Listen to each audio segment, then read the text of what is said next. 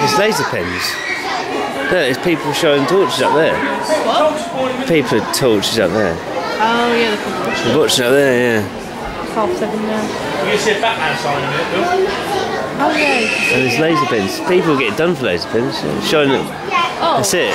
Well, ladies and gentlemen, let's just give yourselves a moment for setting off. The uh, lights will be back on, so uh, give them a second to warm up. Just to make things just a little bit more fun. Don't forget, this is a football club and football ground, and Dover will be playing tomorrow afternoon with the uh, Leicester City Red Visitors 3 o'clock kick-off. So if you fancy coming along, please do so. You will be very welcome. If you're not, do have a safe journey home, and thanks for coming this evening.